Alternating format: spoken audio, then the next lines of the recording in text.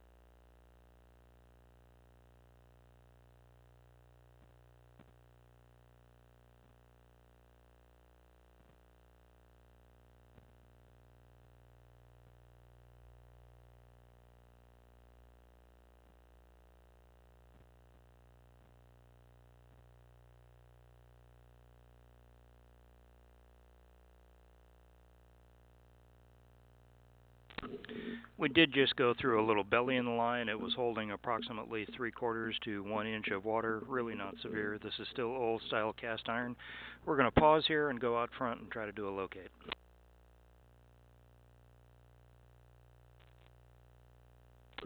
Okay, we've done a locate where we are right here. We're approximately 12 feet from the garage door in the middle of the driveway. I put a little mark. We're going to continue now and find the line at the sidewalk, and then we'll continue all the way to the main in the center of the street.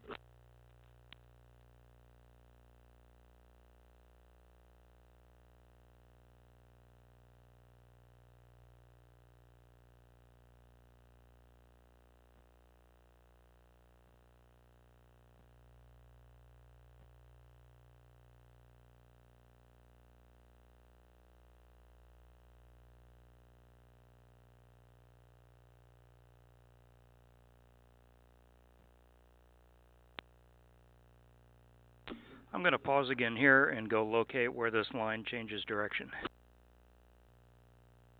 Okay, we're back from pause. I located where the elbow is. Now we're going to continue on out to the uh, curb line.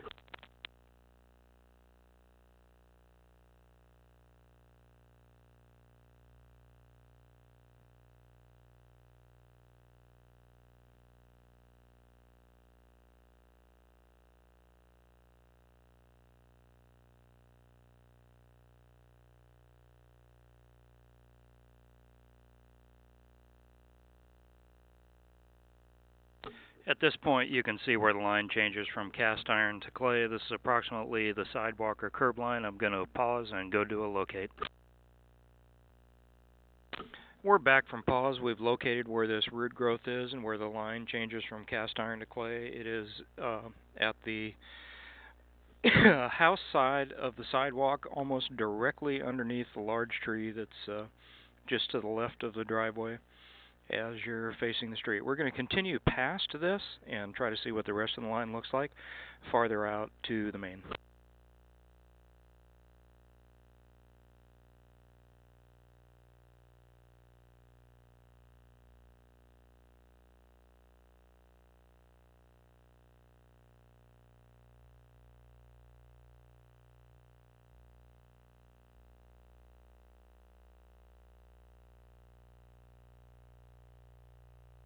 This point you can see we've gone into another belly and the next joint past that first root uh, intrusion had more roots growing in it. We're going to continue from here.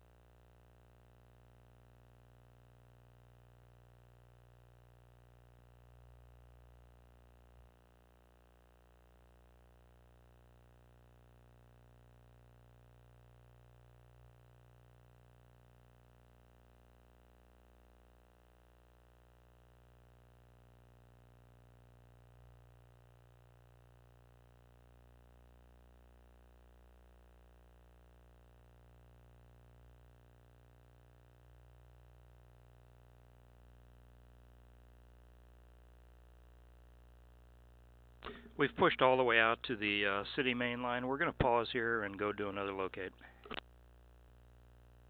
Okay, we're back from pause. What we're looking at right now is where the lateral line from 101 Seville connects to the city main, which is right in the center of the street in front of the house. And uh, you can see that there are quite a few roots growing in the line. And from this point back to the back side of the sidewalk, it's clay pipe, and there are a lot of roots into the line. If we install a uh, property line cleanout, just at the very end of the driveway, the city will maintain this portion of the line, clean it, and it'll also prevent um, a backup in the house because it'll have a low point clean out at the sidewalk with a uh, relief cap on it. We're just going to pull all the way back now and uh, pretty much call this end a video.